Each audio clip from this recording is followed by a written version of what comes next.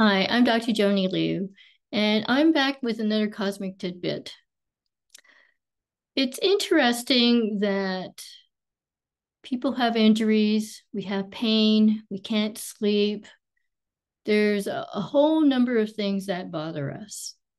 And why is that? It's because we have mistaken thoughts and beliefs.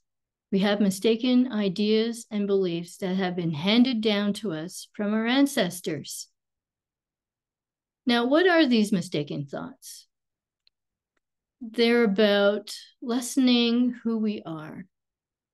It's telling us that when we were kids that we have to become something when being ourselves is therefore stated that we're not good enough the way we are but in actuality, that is definitely one of those mistaken ideas.